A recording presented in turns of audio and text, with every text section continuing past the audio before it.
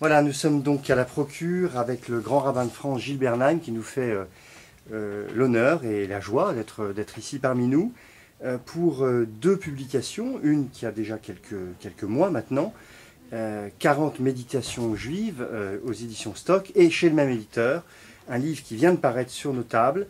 N'oublions pas de penser la France. Alors on va tout à l'heure avoir un- une rencontre avec le public on va pouvoir parler de ces deux livres.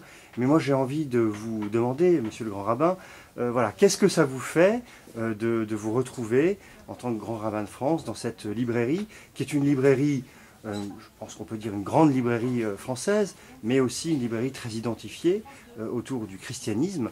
Votre présence ici, pour nous, n'est pas, pas, n'est pas rien. Donc pour vous, qu'est-ce que cela veut dire?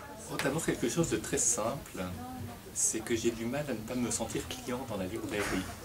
Pour euh, la fréquenter, y acheter des livres, euh, regarder des livres, demander des conseils. Je connais des vendeurs et des vendeuses.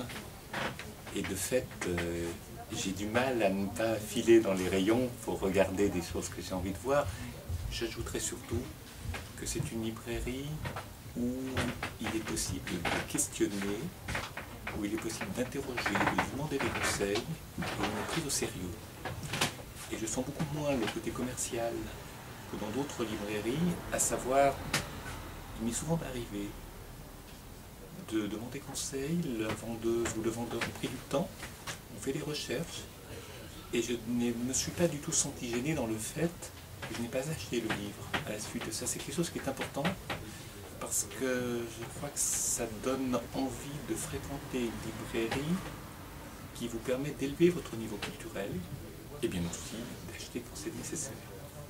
Merci. C'est ce que je ressens ce soir dans cette librairie que j'aime. Merci beaucoup. En tout cas, on va pouvoir parler de vos deux livres maintenant dans la rencontre qui va suivre. Euh, donc, je rappelle leur titre 40 méditations juives et n'oublions pas de penser la France aux éditions Stock.